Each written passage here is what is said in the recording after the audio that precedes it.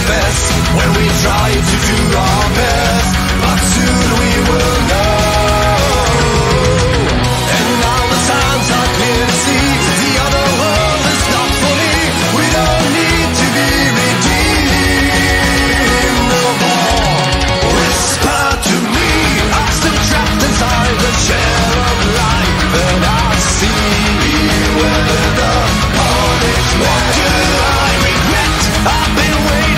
too long